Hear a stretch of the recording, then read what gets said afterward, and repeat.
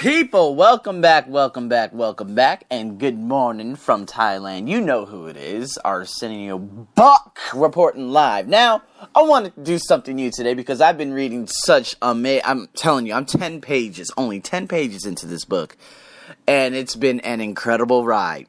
Public Speaking for Success by Dale Carnegie. I'm going to be doing a presentation workshop at my uh, at my language center uh, next Sunday, followed by probably two huge, tremendously huge workshops out there in uh, Bangkok at one of the biggest companies in Thailand. Uh, coming up in July, and I also have a real big uh, workshop coming up in about two weeks. So, what I wanted to go over was speech building. Now, like I said before, whatever area you want to achieve success in, you are going to have to become a student in that area. Okay, so when Les Brown was doing this, he ran a strip club, he did this, he did everything. He said he was the jack of all trades, but he was a master of none. Okay, and then he said, you know what? I picked one area, one specific area that I wanted to become great in. So he picked public speaking. So he started doing research on everyone. We're talking Booker T. Washington.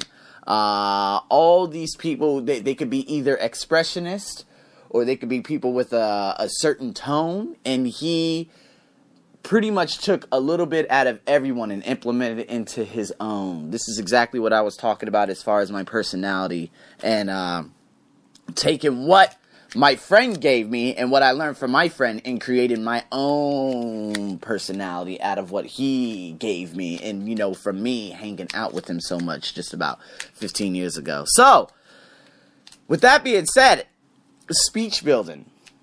I want to go over some of these speech building techniques that he has within his book and I'm going to be doing this in my workshop too. And of course, this is very, very different from the Jack Canfield, the success principles, which I'm going to be getting back into very, very shortly. But uh, we're going to talk about words that are often mispronounced. Now, of course, I work at a language center where some of these 70 year old, 80 year old, 90 year old, 100 year old, 110 year old, 150 year olds, they have a tendency of trying to correct whatever I say. So, what we're going to be talking about today is the double O, the O, and the U. Now, a lot of people say, a lot of people have a, a problem pronouncing something that they're not sure if they're supposed to say the oo or the uh in you, right? That's what we're going to be going over today. Like kind of like the O in comedy, right? And the capitalized U's that uh, he has a list of, a list of words at the bottom of this particular page, like supple, suburban, right? Uh, luscious are all sounded as U as in up. U, the U and up. Okay, so supple, suburban, and uh, what is that? Luscious. So the letters capitalized that he put within this list and the following should be sounded not as not as the O O in ooze, right? So O O Z E, that is pronounced ooze, right? It's not going to be pronounced O's. It's not going to be pronounced as ooze, but as the U in futility and music, okay? So not the oo, but the U. It's kind of like unicorn, right? This, the long U sound, consists of a close union of the sound of I in it. Okay? And the OO in ooze.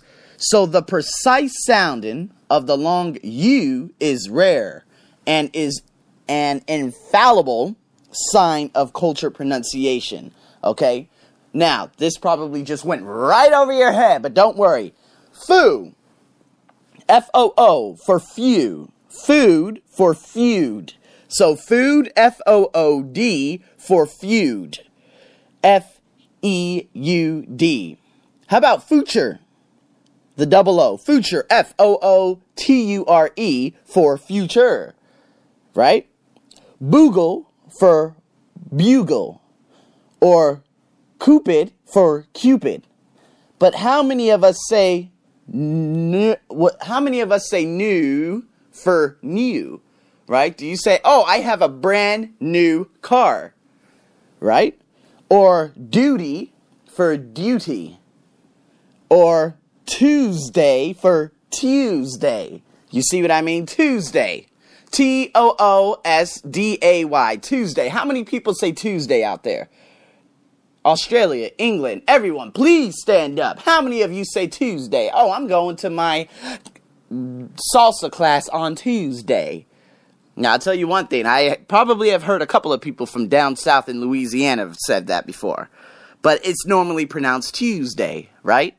Now, I know some of my students would say Tuesday, but I say Tuesday. So, a list of words to help correct this pronunciation. If you guys are having problems doing this public uh, public speaking, uh, which I'm going to be going over a lot of since I bought this book, I'm going to launch another series. Okay, um, you guys could do these uh, these exercises every time in the morning to help you okay? Because like a lot of different people. I've read a lot of different people such as abraham lincoln some army generals. They are were terrified of public speaking. They uh, one of uh, abraham lincoln's close friends said he was so awkward remarkably awkward and then when he started speaking with all the what is it his said his skin started turning and he dug his fingers into the palm of his hands and oh man but over time he was able to come over and get over that hump. So, absolute, right? So we're doing the oot, right? Absolute, assume, attitude, avenue, right? Constitution, consume, culinary, delude, delusion, due, dilute, dubious, do, duet, duke, duly, duty, furniture, gratitude, illusion, institute, institution, lubricate, Lucy, lure, measure, multitude, neutral, new. Now you see, a couple of those, they were probably pronounced two different ways, right? So if we look at illusion, illu, ooh, ooh, and new, well, that almost sounds identical, but the way I pronounced it, there was just a slight, just a little bit of a differentiation in between the two. Okay, so this is what I like doing. If anyone wants a list of this so they could practice this, if they're speakers or if they're like a CEO or anyone that comes up in front of a crowd or is getting ready to and you are just terrified of public speaking, well, Jack Canfield obviously he goes over this in his book and I just went over this in one of the principles. Uh, that a lot of people will say, "Oh man, what if I what if I forget? What if I forget? What if I forget?" You're thinking of an imaginary situation, and then you're going to end up falling apart on your presentation right? Because you create the image. So, if you want to, um, kind of like me, sometimes I stumble over my own words. So, what I would do every day was I would do just this I would uh, do speaking pronunciations, I would do exercises in the morning to help me and to, you know, so I could keep practicing and practicing. There was somebody, oh, I forgot his name. But there was somebody, was a radio host. Where is he at? It was a radio host that uh, was it Benjamin Disraeli? No, that was the prime minister. Uh, oh, there was a specific guy. It was a it was that, ah, there we go, Charles Chapman. There we go. Okay, so this radio host, before he got on the radio, just as I did, if you listen to my first recording, you can hear somewhat of the nervousness in my voice because I'm like, oh my god, well I don't know who's gonna listen to it, but now I've overcame a lot of everything I was from the beginning as you know as far as practicing and not just forgetting what I was going to say next. Now there's sometimes that I would stop and I would start overthinking and then I would say, "Uh-oh, okay, I got lost." And I would just literally just say it right out loud. Like, "All right, guys, I just got lost."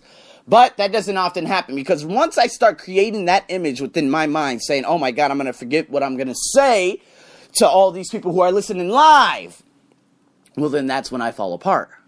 So, I'm going to start going over some of these uh, different techniques in uh, Dale Carnegie's book, The Public Speaking for Success, which I'm reading. Uh, and I'm also going to get back onto the Jack Canfield series. And of course, I got other things to talk about also, you know, just random topics. So you guys stay tuned. Until then, have a wonderful morning, afternoon, and evening. If you have any questions at AJ in Thailand, I'm your host. Over and out.